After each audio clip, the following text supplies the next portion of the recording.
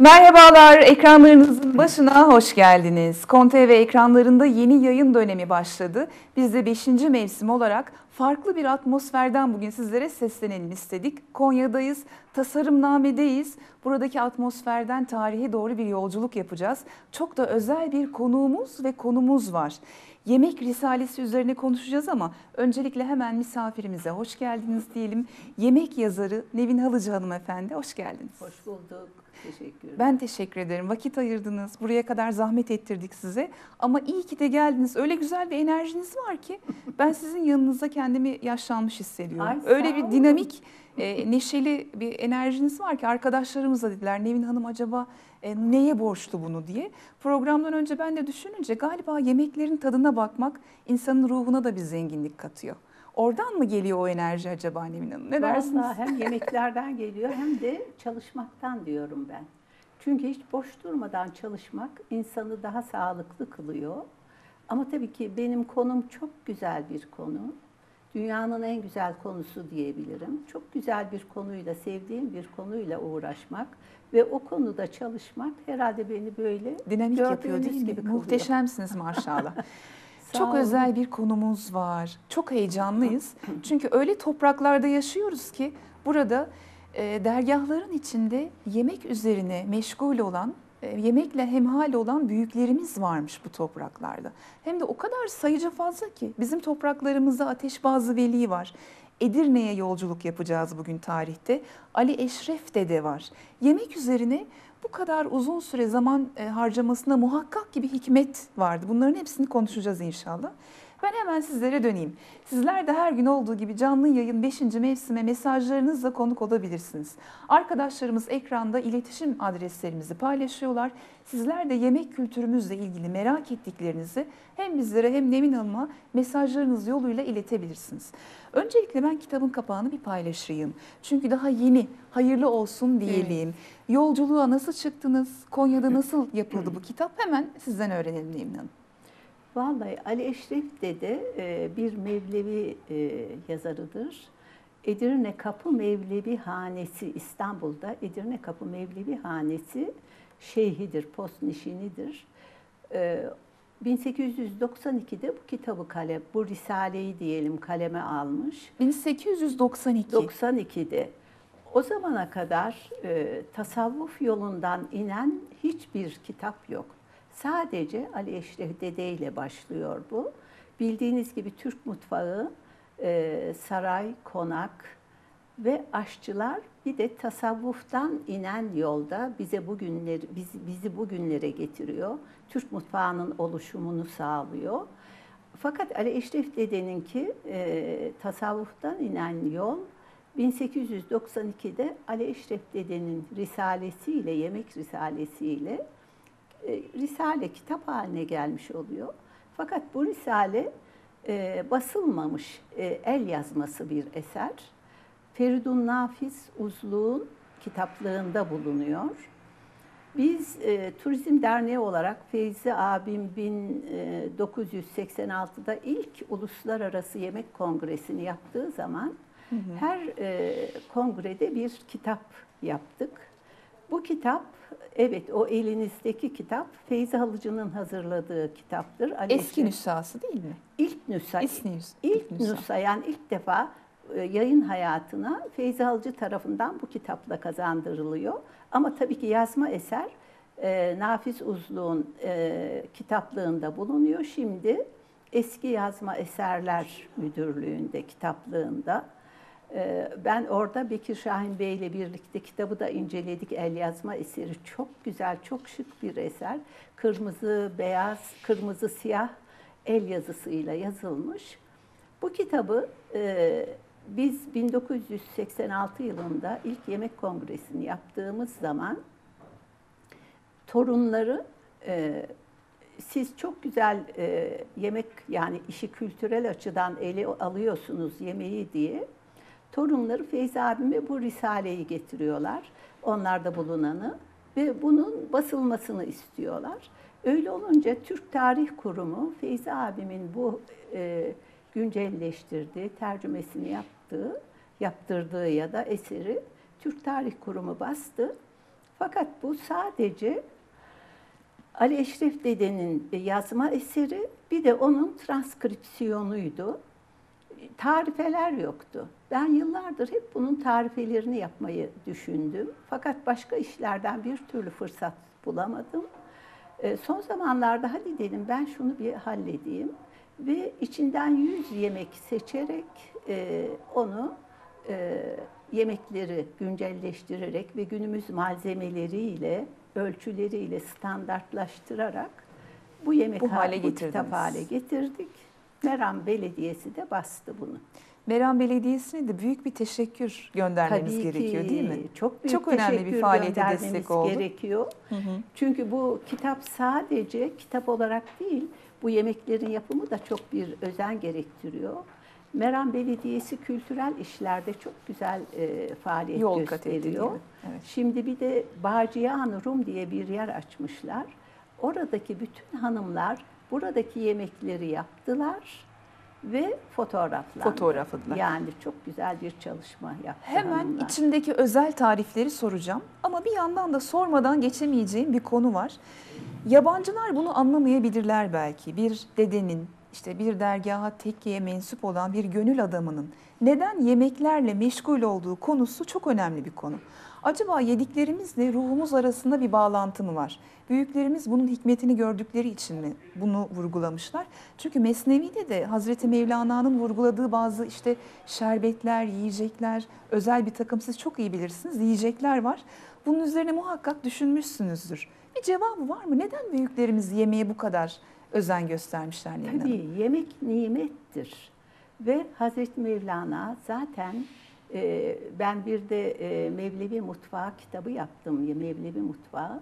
Orada e, Hazreti Mevlana'nın e, söylediğiniz gibi yemekle ilgili çok güzel e, sözleri var, beyitleri var. Biliyorsunuz Mevleviler Tanrı'ya ulaşmadaki güzel yani Hazreti Mevlana diyelim Tanrı'ya ulaşmadaki fikirlerini bir takım sembollerle açıklamıştır. Bunlardan biri de yemektir. Ve en önemli hayat felsefesini yemek terimleriyle açıklamıştır. Hamdım, piştim, yandım diyor. Ve diyor ki hayatım şu üç sözden ibarettir. Hamdım, piştim, yandım. Şimdi bunu görünce ben yıllardır bir Mevlevi kitabı yapmayı düşünmüştüm. Ve çok şükür emekli olunca daha rahat inceleyip e, Hazreti Mevlana'nın eserlerindeki bütün e, şeyleri, yemek terimlerini çıkararak bir kitap yaptım. Fakat o zaman biz bu kitabı bilmiyorduk. Sonradan bu Ali Eşref Dede'nin risalesine rastladık. Hazreti Mevlana yemeğe çok büyük önem veriyor. E, Ateşbazı Veli Hazretlerini her zaman toplantılarda yemek sağ, sağında bulunduruyor. Ayrıca Ateşbazı Veli Hazretleri öldüğü zaman Mevleviler ona e, ateş rengi taşlarla bir anıt mezar yaptırıyorlar. Ve bu 13. yüzyılda dünyada muhtemelen adına anıt mezar yaptırılan ilk şef oluyor. Biz bu beş yemek kongresi yaptığımız zaman bize Venezuela'dan, İngiltere'den, Peru'dan yani dünyanın her yerinden çok önemli yemek uzmanları geldi. Beş yıl onlarla bir beraber olduk. Ve e, bu uzmanlardan alan David Son ki Oxford e, sempozyumunun kurucusudur. E, o da geldi programlarımızın hepsine.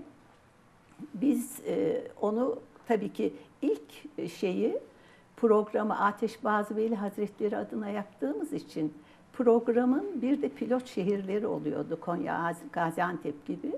İlk programda Konya'ya getirdik ve Ateş Bazı Veli Hazretlerini ziyaret ettiler. Gidince e, onun bir PPC diye dergisi var, Petit Propos Culinaries. E, dedi ki, biz dedi İstanbul'da çok mutluyduk. Perapalas'ta kalıyorduk. Her gün çeşitli yemekler ve e, inanılmaz güzel lokantalarda yemekler yiyorduk. Bizi organizatörlerin bir tren yolculuğuyla, o zaman uçak falan çok yoktu 1986'da. Konya'ya niye götürdüklerini akıl edemedik dediler.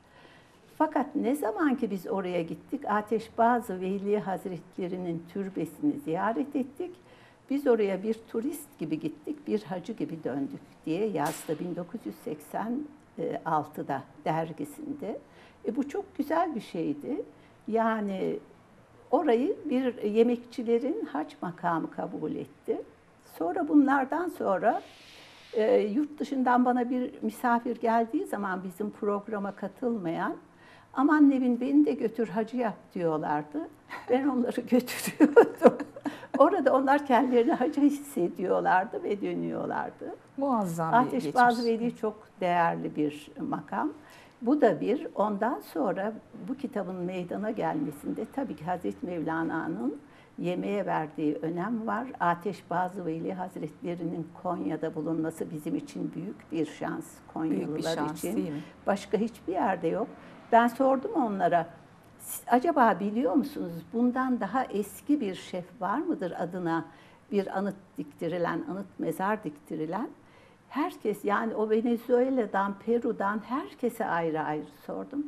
Bizde yok Nevin dediler ve onlar yemeklerin yani yemek yazarlığının çok önemli uzmanları araştırma araştırma her şey onlarda. Başka yerlerde de duymadık dediler. Evet. O açıdan çok şanslıyız. Müthiş bir nasip evet bu şehir için. Bu arada bir şey daha merak ediyorum Nevin Hanım. Gönül erleri mutfakta zaman mı geçiriyorlardı? Bu günümüzde hani bizim çok e, hayal edemediğimiz bir şey. Mesela Ali Eşref dedi. Bizzat mutfakta bu yemekleri kendi denemiş midir, yapmış mıdır? Böyle bir sonuca da mı çıkıyoruz? Vallahi şöyle, meraklı olan bir e, postnişin diyebileceğim. Çünkü yemeğe meraklı olan var, olmayan, Olmayan var. var. Tabii ki Hazreti Mevlana'da yemeğin önemi çok büyük. Ama Ali Eşref Dede'nin özel merakı sanıyorum. Çünkü daha başka değerli postnişinler de var. Hiç kimsenin böyle bir risale kaleme aldığı henüz ortaya çıkmadı. Belki çıkacak zamanla araştırmalarla. Ama Ali Eşref Dede bunu bu kadar güzel yazdığına göre sanıyorum ki mutfağa da giriyordu. Çünkü çok güzel şeyler yazıyor. Püf noktalar var mı Nevin Hanım? Püf noktalar var mı kitabın Püf içinde? noktalar değil de bazı özellikler var şöyle. Mesela bu kitapta ben e, Bağcıyan'da yemekleri yaparken dediler ki bu ne ya Nevin abla hep tarçın kullanıyor. Ne kadar tarçını seviyor dediler. Tabii ki tarçın kullanıyor. Çünkü es, klasik mutfakta çok eskilerde kırmızı biber yok. E, diğer şeyler yok. E, karabiber var, kimyon var. Hazreti Mevlana'nın eserlerinde de adı geçer. Kimyon var, karabiber var, bir de tarçın var. Etlere tarçın kullanıyorlar ve her şeye tarçın kullanıyorlar tatlılara. Bu yemekte birçok et yemeklerinin üzerine tarçın serpiliyor veya içine katılıyor. Tarçın çok kullanılan bir şey. Ee, Ya Ali Eşref Çok güzel. ben yemekleri mutfakta da yaptığını düşünüyorum. Düşünüyorsunuz. Ayrıca çok e, şey bir bey, esprili bir bey. E, diyor işte mesela hikayeler var onun kendi içinde yani şimdi kitap çeviri, tıpkı basım ve uygulamalar. Onun yazdığı e, bölümde çok güzel hikayeler var. Ninem duymasın helvası. İşte diyor ki bir acuze bir hanım gelinine helva yaptırmıyormuş. Gelini gizlice mutfağa giriyormuş, helva yapıyormuş falan. Böyle tatlı tatlı da hikayeler, Hikayeler de var. var.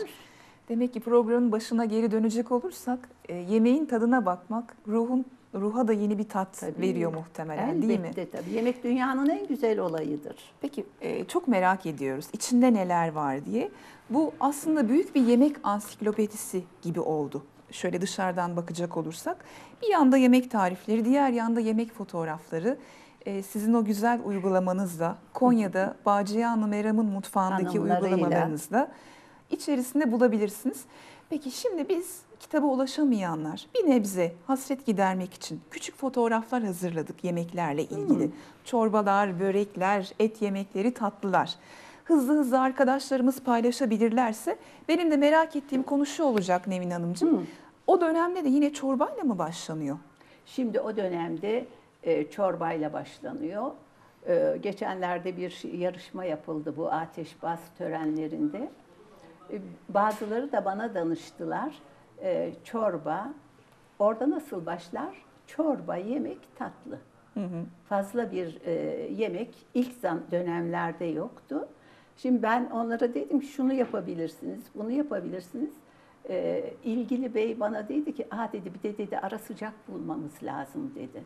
Şimdi dedim ki onlarda ara sıcak yoktur. Yani onlar çorba, ana yemek, olursa olsun bir arkadan börek veya herhangi bir sebze yemeği gelir, tatlı gelir. Yok ara sıcak olması gerekiyor dediler.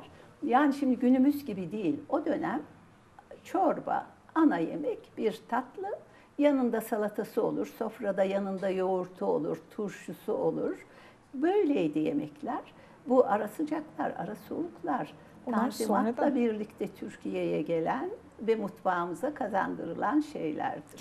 Ama ana unsurlar korunuyor değil mi şu anda Tabii kültürümüzde? ki. Şimdi e, halk arasında yani ailelerde bu korunuyor tabii. Hiç kimse siz, siz evinizde önce bir çorba sonra bir ara sıcak yapar mısınız? Yok, Hayır. değil. Çorba yaparız hepimiz. Arkasından ana yemeğimiz gelir. Arkasından da ne gelir? E, ya bir börek gelir ya bir zeytinyağlı yemek ya da her zaman tatlı bile olmaz. Meyve olur falan. Yani böyledir bizim genel Mutfağımız, yemek e, sıralamamız. Ama e, Ali Eşref dedenin de öyle olduğunu sanıyorum. Peki e, diyelim e, şu anda halen uygulanan birebir bizim mutfaklarımızda yaşayan tarifler var mı kitabın içerisinde? Tabii ki var. Paça var. Her şey var. Çorbalar var. Bir de bizim günümüzde uygulayamadığımız şeyler de var. Ee, mesela bakın bu kitabın en arka sayfasında hiç açmayın. En arkadaki. Direkt kapak, arka kapak. Kapak. Arka kapak çok ilginç bir tatlıdır. Türk mutfağında benim rastlamadığım bir e, tatlıdır bu. Altın varaklı kadayıf. Aa, Bakın o üsttekiler altın varaktır. gerçek altın varaktan Evet. bahsediyoruz. Ve sadece Ali Eşref Dede'nin yemek kitabında ben bunu gördüm. Ee, araştırmacılar belki görebilirler ama ben göremedim. Sadece Ali Eşref Dede'de var. Al- Altın varaklı kadayıf var. Ama diğer yemekler paça var mesela. Ve yemekleri ne şekilde kullanıyorlar? Gelen, genellikle trit halinde. Çok Trit güzel. olarak bakın ne oluyor? Etler ziyan oluyor. Ziyan olmaz da şöyle yapıyor. Dikkat ederseniz bütün yemekler, yahniler, e, paçalar hepsi trit halinde. Etleri üzerine koymuyor. Ben dedim ki hani siz Ali Eşref de böyle veriyor ama boşa gitmemesi açısından paçayı, eti, tavuk etini de üzerine didebilirsiniz dedim. Tabii ki aslında belirtiyoruz ama tabii ki tavukları da atmıyoruz. Asıl tritte yani o yüzyıldaki tritte et ve ekmek ayrı mı servis ediliyor? Hayır, aynı. Aynı yine. Ekmekleri doğruyor altına. Üstüne de e, pişen e, tiritin suyunu döküyor Suyu. yahnenin. Çok ilginç. Mesela o dönemde lezzet versin diye et, tavuk birlikte kaynatılıyor. Dana eti hatta. Aa, bütün Onun etler. suyu, bütün etler birlikte kitapta göreceksiniz tarifelerini. Ve onun su, diyor ki tavuğu ve dana etini alın, incikleri, kuzu inciklerini e, kullanabilirsiniz mesela. E, ben ama genellikle ne yapıyor? Bunu suyunu ekmeklerin üzerine döküyor. Etleri hiç kullanmıyor. Ben işte onu dedim etler de boşa gitmesin. Hem, hem de kuru ekmek yenilmesin trit olarak. Üstüne bunları da didebilirsiniz dedim. Böyle oluyor.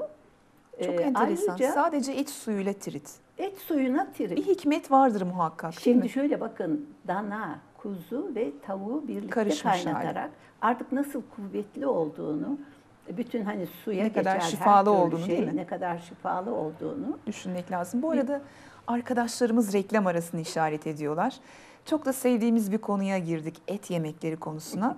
Ee, özel bir e, bölüm var çünkü mutfağımızda et yemekleriyle ilgili. Hazırladığımız çok güzel görseller de var. Kitaptan izleyicilerimiz merak etsinler. Hmm. güzel. Reklamların arkasından sohbetimize tasarımnamede devam edeceğiz. Bakanlığı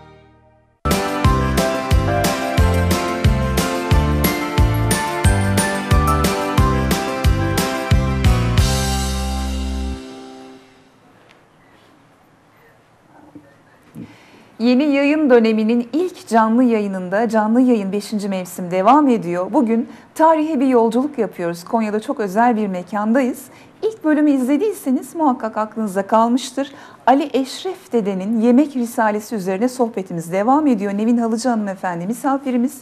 Ali Eşref Dede 1892 yılında Edirne'de yaşayan bir büyüğümüz. İstanbul'da. İstanbul'da. Peki Edirne'deki Edirne Kapı Mevlevi Hanesi. Sinde e, Yaşıyor. yaşıyordu.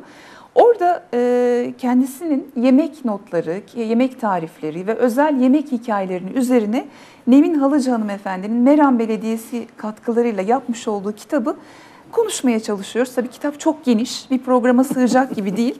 Bu arada biz reklam arasında sohbete devam ederken Nevin Hanım dedi ki Orta Asya'dan günümüze Türkler et, yoğurt ve hamur işini yüzyıllardır yiyerek o tadı Anadolu'ya taşıdılar dedi. Bu açıdan aslında tirit gibi yemekleri yerken gönlümüz rahat mı olmalı? Çünkü artık genlerimize işlemiştir değil mi bu tatlar Nevin Hanım? Kaçmamız mümkün değil et, yoğurt ve hamur işinden. Ee, Böyle de bir damak tadı da gelişmiş değil mi muhtemelen? Siz Herhalde çok daha iyi biliyorsunuz. de geliyor. Şöyle, e, Türk mutfağı Orta Asya'dan günümüze inen bir mutfak. Tabii ki köklerimiz Orta Asya'ya dayanıyor. E, Orta Asya'da nedir mutfak? Et, yoğurt, ekmek, hamur işi, yufkalar, şun, mantılar, şunlar bunlar. Günümüzde Orta Asya mutfağı İç Anadolu'da ve Selçuklu'dan inen doğru yönüyle de Konya'da yaşıyor. E, Şimdi sebzeyi sevmeyen beyler e, çok rahatlamışlardır muhtemelen. Atalarımızın izinden gidiyoruz demişlerdir ama e, yine reklam arasındaki sohbetlerimizden biri Konya'daki eski zeytinyağlılardı. Belki yine vaktimiz olursa önümüzdeki programlarda bir günde onu konuşuruz. Olabilir. Değil mi? Kültürümüzde olduğu için. Reklamlara geçmeden önce yemek fotoğrafları paylaşıyorduk. En sevdiğimiz bölüme özel et yemeklerine gelmişti sıra. Şimdi hemen arkadaşlarımızla da e, irtibatlı bir şekilde beyaz yahni diye bir fotoğraf var. Evet. Yine kitapta da özel bir bölüm var. Neden beyaz? Neden yahni? Şimdi beyaz yahni, bir de kırmızı yahnimiz var. Onu aldınız mı bilmiyorum. Beyaz ya- yahni Beyaz yahniyi almışlar. Şimdi Türk mutfağında et kullanılır dedik ve Türk mutfağının e, 7. yüzyıla kadar inen ilk yemeği haşlamadır. Haşlama et. Tabii ki ızgara da var o zaman. Çünkü e, Orkun abidelerinde diyor ki e, ge- e, geyik eti yiyerek, tavşan eti yiyerek besleniyorduk diyor. İki etten Orhun bahsediyor. abidelerinde. Tabii, tabii. O dönemlerde e, 630'larda falan bir e, Çinli gezginin e, kaydettiğine göre ilk et yemeği haşlama et olarak görülüyor. Haşlama et zamanla soğan katılarak yahni haline getirilmiş oluyor. Ve o dönemlerde tabii ki renkli bir şey yok. Domates, şu bu yok Orta Asya'da. Ne oluyor? Yahni beyaz oluyor. Beyaz yahni diyorlar. Sonra Ali Eşref Dede de bu kitabımızda yine var. Kırmızı yahni var. Kırmızı yahniyi neyle yapıyorlar dersiniz? Acaba kırmızı rengi ne veriyor? Ne Erik verir? mi olabilir? Şöyle erik değil, e, üzümle yapıyorlar. Üzüm. Siyah üzümle yapıyorlar. Kitapta resmi var. E, kırmızı yahni soğanlar et pişerken kırmızı olarak dökülüyor. Beyaz yahni bu sizin gösterdiğiniz oluyor. Bir de kırmızı yahnimiz Peki var. salça ne kitapta. zaman bizim mutfağımıza giriyor Nevin Ee, Hanım? 15. yüzyılda domates e, İstanbul'a geliyor. İspanya'dan Safarat Yahudileriyle. Onlarla geliyor. Fakat mutfağımıza tam girmesi tabii ki 1-2 yüzyıl alıyor. Fakat maşallah domates mutfağımıza bir giriyor, pir giriyor. Çok yakışıyor? Artık tabii ki domates lezzetli bir şey ama e, domates bir yemeğe girdiği zaman onun bütün lezzeti domates oluyor. Evet. Öyle olunca klasik mutfakta ve özellikle Ali Eşref Dede'de fazla domatesli tarife göremiyoruz. O zaman Çünkü o zaman pardon. estağfurullah lütfen buyurun. O zamanki yemekleri benim istediğim gibi patlıcansa patlıcan tadını alarak, Aa. kabaksa kabak tadını alarak, ne bileyim yani o maddenin paçaysa paça, etse et tadını alarak yemek önemli. Ve ben bu görüşe e, çok katılıyorum, çok iyi katılıyorum. E, ama domates hangi yemeğe koyarsanız koyun birdenbire bütün hepsini kavruyor ve domates tadı oluyor o yemek. Ali Eşref Dede de e, bir özellik de domatesli yemeklerin fazla bulunmaması ve klasik mutfağa sadık kalınmasıdır. Fazla bir domatesli tarife bulamazsınız. Bakın kırmızılığı bile erikle sağlıyorlar. Çok güzel. Peki hızlı bir şekilde et yemeklerine bakacak olursak, çömlek kebabı e, çok sevdiğimiz değil mi? O kiremit tadıyla Tabii etin ki. birleşmesi, incik yanisi, kasap kebabı, yine arkadaşlarımız paylaşacaklardır kıyma büryani, koyun eti külbastısı. Biz koyun etini çok mu seviyoruz kuzu Koyun etini? etini tabii e, İç Anadolu'da çok sevilir. Koyun eti. Orta Asya'da biliyorsunuz at eti falan da yiyorlarmış. Ama Ko- e, Konya'da koyun eti yenir. E, Ben şahsen mutfağıma dana eti sokmam. Her zaman koyun kuzu eti kullanırım. Bir şimdi moda çıktı. Efendim koyun eti kokuyor İstanbul'da özellikle dostlarım. Koyun eti kokuyor. Kokmaz koyun eti. Ben bugüne kadar koyun etinin şöyle bir kötü koktuğunu hiç görmedim. Nasıl kokuyor anlayamıyorum. Koyun eti dünyanın en güzel etidir. Ya Konya'nın kuzularından, koyunlarından olsa gerek. Ben koyun etinin koktuğunu hiç görmedim. Herhalde de- kasaplarım iyi. Muhtemelen alışveriş yaptığınız yerleri takip etmemiz lazım. Peki kitaptaki yemek tariflerinin içinden damağınıza en güzel hangisi geldi? En çok hangisini benimsediniz? Vallahi şimdi bu e, en arkadaki bu bahsettiğim altın varaklı kadayıf bana çok ilginç geldi. Çünkü hiç e, birimizin yazılı kaynaklarda bulunmayan bir tat. Ama ben bütün kitaplarımda, bütün yaptığım yemekleri insanın çocukları gibi katiyen ayırt etmem. Çok severek yerim. Yalnız burada bir kavun baklavası var. Ali Eşref Dede kavunla baklava yapıyor. Kavun Şimdi baklavası? Kavun, Allah Allah. Kavunla bildiğimiz baklavayı kavunla yapıyor. Ve Ali Eşref Dede o kadar zarif ki her şeyi böyle kendi tadında yemek istediği için şimdi 12 yufka tepsiye yayıyor. Arada yağlıyor tabii. Üzerine kaşıkla bu bizim selbasan kavunlarını değil çok sulu. İstanbul'un hani o pembe bir kavunları vardır. Kaşık kaşık onu yerleştiriyor tepsiye. Resmi de var orada. Ve diyor ki piştikten sonra üstteki iki yufkayı alın. Aa, Fakat biz aldık. Fakat o aldığımız yufkaların tadına baktık. Kavun o kadar güzel bir raiha veriyor ki o iki yufkaya. Koku yukarı çıkıyor çünkü. Ben şöyle yazdım oraya. Ali Eşref de bu yufkaları alın diyor ama siz iki türlü de tadına bakın. Yani hem Ali Eşref dedeninki gibi hem de o kavun, o yufkaların kavun rayahası almış tadını da hissedin dedim kitapta. Çünkü çok güzeldi. çok güzel. Bu arada aşure ile ilgili de bir hazırlık var kitabın içerisinde. Şimdi tam da aşure zamanındayız. Yine o eski geleneksel ikram kültürümüz yaşatılıyor. Çok güzel. Peki merak ediyoruz tabii acaba o yüzyılda aşure nasıl hazırlanıyordu? Şimdiki tarifle aynı mı Nevin Hanım? Aşağı yukarı aynı. Malzemeler aynı. Dövme, işte nohut, fasulye. İstanbul mutfağında bakla konur. Bakla? Tabii Aa. ki kuru bakla konur.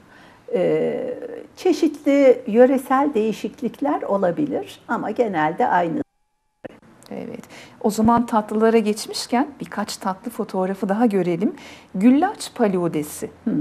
Çok özel bir şey. O da çok güzel bir şey. Güllaçı ufalıyorsunuz ve onu e, karıştıra karıştıra karıştıra pelte haline getiriyorsunuz. Orada ilginç bir şey var. Misk koyuyorsunuz. Nereden Benim bulacağız miskim miski? bitmişti. Fas'a gitmeniz lazım. Fas'a. Fas'tan misk getireceksiniz. Çok güzel oluyor. Onu koyuyorsunuz. Şimdi orada görünen resimler yani dümdüz bir e, pelte gibi, palüze gibi bir şeydir. Ama lezzetine baktığınız zaman nefis olur. Evet. Miski de biliyorsunuz geyiğin göbeğinin altındaki bir maddeden alıyorlar. Ee, Gerçek misk güzel bir koku. Gerçek misk tabii. ki. O da ancak Fas'ta mı bulunuyor Nevin Hanım? Yani dünyanın başka yerlerinde de bulunabilir ama ben genelde Fas'tan e, alıyorum. Temin ediyorsunuz. Çok güzel. Taze erik hoşafı. Biz hoşafları da çok seviyoruz değil mi? Evet, Etlerin yanına da çok evet, yakışır. Pilavın etin yanına ve hoşaf Konya mutfağında söz kesendir. Her şey bizim mutfağımızda sembollerle anlatılır. Söz kesen ne demek? Söz kesen ne demektir? E, Konya mutfağında biliyorsunuz çeşitli menüler vardır.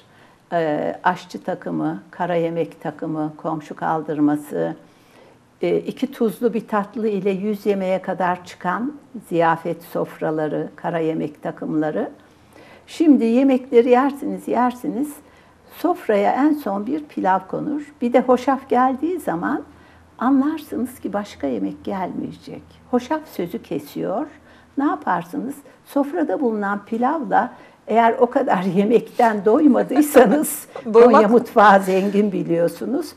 O pilavla karnınızı doyurursunuz. Hala doymayan kaldıysa diye bir Evet hala İkram. midenizde yer kaldıysa. Bir de çok ilginç e, şeyde Kastamonu'da da e, söz kesen e, kara haber denilen yaprak sarmasıdır. Bizim hoşafımız gibi sofraya yaprak sarması geldiği zaman kara haberdir bunun adı. Bilirsiniz ki başka yemek gelmeyecek ve o yaprakla karnınızı doyurursunuz. çok güzel. Yani Anadolu'da böyle çok güzel şeyler var. Müthiş. Yemeğin bir kültür olduğunu bunlardan anlıyoruz. Ve maalesef kayboluyor birçok şey. Maalesef. Kaydolması gerekiyor. Şimdi biz ne yapıyoruz? Böyle küçük kaseleri ayırıp hemen yemeğin başında ikram edebiliyoruz hoşafı. Ama geçmişte neler yüklenmiş değil mi Yok, yemeklerin hayır. üzerine? Önceden o zaman başka yemek gelmeyecek sanar siz misafire önden hoşaf verirseniz. Ya değil mi? Peki e, yine tatlılarla devam edelim. Yine son zamanda Konya'da tartışılan bir konu. Höşmerim diye servis edilen bir tatlı var. Ama diyorlar ki bilenler bu aslında un helvasıdır. Höşmerim değildir diyorlar mesela. Höşmerimle un helvasının gerçek farkı ne Nevin Hanım? Şimdi höşmerimle un helvasının farkı şöyle. Lokantalarımız maalesef e, şimdi höşmerim kaymakla yapılır. Höşmerim helva değildir. Höşmerim e, yağla kayma pardon unla kaymağı kavurursunuz. O böyle kıvama gelince dökülmeye başlayınca onu bir e, tavaya alırsınız yağlanmış bir tavaya bastırırsınız. Onun alt kısmını yakarsınız yani Tutacak yakmak mı o dediğim Dibini hafif- tutacak. Hafif tutacak pembeleşene kadar. Onu ters çevirirsiniz. Çünkü zaten pişti. O altını da dibini de tutturunca ters çevirirsiniz. Höşmerim budur. Üzerine ya pudra şeker serpersiniz veyahut e, bal üzerine de kaymak koyarsınız. Aa. Müthiş bir tatlıdır. Biz 1986'da Konya'ya yabancı turistleri getirdiğimiz zaman 5 gün yemek yedirirdik. Ee, çeşitli ve farklı yemekler. Hiçbir yemek birbirinin eşi değildi. Çünkü e, iyi bir yemek programı yaptım. Bütün mutfağı tanıtmak istedim. Sonunda bir anket uyguladık. Dedik ki e, Türkiye'de yediğiniz yemekler içinde en güzel yemek neydi? Konya'da Zafer Restoran'da yediğimiz höşmerimdi dediler. Bu şekilde hazırlamışlardı. Ama günümüzde ne oluyor? Höşmerim denilen şey höşmerim değil, höşmerim helvası diyelim artık. Kaymak helvası. Ne yapıyorlar? Yağla unu kavurduktan sonra kestirme döküyorlar. O oluyor helva. O da güzel bir Çok şey. güzeldir değil mi? Ama yani yemeklerin adını değiştirmemek lazım. Ben hep onu diyorum. Yemeklerin adını lütfen değiştirmeyin. Bir de yemeklerin genleriyle oynamayın. Tutup da efendim e, tavuğa soya sos koymayalım, bilmem ne yapmayalım. Eğer bir hani Hint yemeği, bir e, Batı yemeği yapıyoruz diyorsanız kullanın. Ama bizim hani pilavımızın tavuğuna yani bir köri sos bilmem ne koymayalım. Olduğu gibi yapalım. Evet. Ama biz seviyorsak tabii ki evimizde yapabiliriz. Peki kitaba nasıl ulaşabiliriz Nevin Hanım? Kitaba, kitabı Meram Belediyesi bastı. Oradan e, ve ücretsiz prestij kitabı olarak bastılar.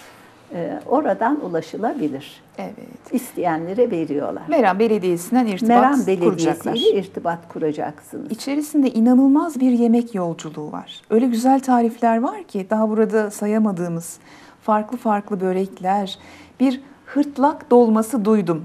Bağcıyanlı Evet. Meram ekibi dediler ki bana Fatma Hanım burada öyle bir kavun Resmi dolması yapıldı. Hemen açalım. Hemen açalım. Kavun dolması yapıldı. Biz onun kokusuna inanamadık. Görüntüsüne inanamadık. Nasıl bir kavun dedim. Olmamış kavun. Bizim Konyalıların Hırtlak. bildiği hırt hırtlak. Hırtlak. Bunun nedir hikayesi? Çok övdüler çünkü. Bu hırtlak e, her zaman bu yapılan bir şey. Benim e, şeyde de vardır, Mevlevi Mutfağı kitabımda da vardır. E, Konya mutfağında da bu yapılır. Bizim bir tatlı et kabağımız vardır, bilir misiniz onu? Evet. Bu uzun su et, kabağı gibi su kabağının içine tatlı dolma yaparlar. Onun gibi bir iç hazırlanıyor. Hırtlak oluyor. Hırtlakları alıyorsunuz küçük şimdi tam zamanı. Oyuyorsunuz. Onun içine e, bademli, fıstıklı güzel bir evet. Bademli, fıstıklı güzel bir iç yapıyorsunuz, dolduruyorsunuz. Ee, ve pişiriyorsunuz. Biraz piştikten sonra şekerini atıyorsunuz. Nefis tereyağlı tabii. Aa. Mis gibi bir Peki tatlı e, kavunun oluyor. tadı artık piştikten sonra etle de karışınca içle değişik bir tada mı dönüyor? Hayatım şimdi şöyle bu kavun değil ki daha. Bu başka bir şey. Salatalık gibi bir şey. Yani onda bir kavun tadı yok. Sebze tadı var yani. Sebze tadı gibi yani tatlı bir salatalık gibi öyle bir şey. E, Yap, yapın şimdi tam zamanı. Tam zamanı peki. Her işi bırakın siz kavun dolması yapın. Tamam. Bütün seyircilerimiz de yapsınlar. Söz veriyorum. Yapınca paylaşacağım inşallah. Nasıl olduğunu bana anlatırsın. Tamam. Nevin Hanım peki formunuzu nasıl koruyorsunuz? Şimdi biz özellikle iç bölgelerde şimdi ne dediniz bize Orta Asya'dan et, yoğurt, hamur işi bizim artık genetik damak tadımıza işlemiş. Atalarımızın bize artık emaneti. E bundan bizim kaçışımız yok. Çok da Mümkün seviyoruz. değil. Peki bu kadar güzel, kalorili, besleyici yemeklerin arasında nasıl koruyorsunuz? Bir Şimdi sırrınız ben- varsa bize paylaşın. Çünkü yemek yemek de bir sanat değil mi? Ay tabii Onun ki, ölçüsü de bir sanat. Tabii ki. Şimdi şöyle eskiden bu yemekler yapılıyordu ama çamaşır makineleri, bulaşık makineleri, asansörler, arabalar kapıda. Hanım sabah uyanıyor, arabasına biniyor, işe gidiyor, masa başına oturuyor. işini bitiriyor. Öğlen geliyor evine, bir lokma bir şey yok. Akşam yine hiç yürüyüş müyüş, hareket yok. Biz eskiden benim gençliğimde tahta fırçalardık. Ee, tahtalar fırçalanırdı, çamaşırlar elde yıkanırdı ev temizlikleri herkesin kendi yaptığı bir şeydi.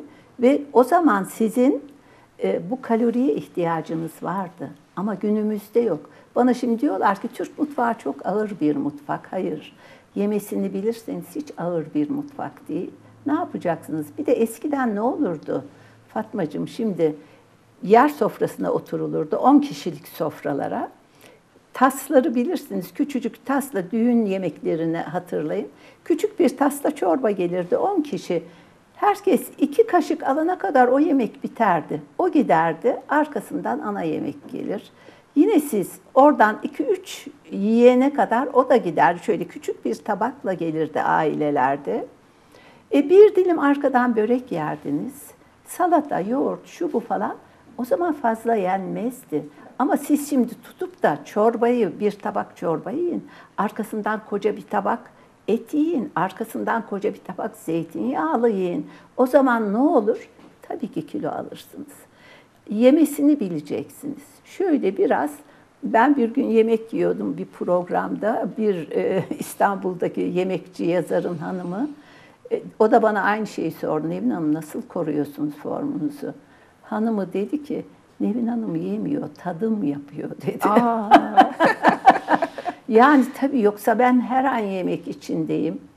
Ve bu arada biraz kilo aldım. Şunu da söyleyeyim yani kendimi çok beğeniyorum. E, Bir ay ben Alanya'da bir otelde kaldım.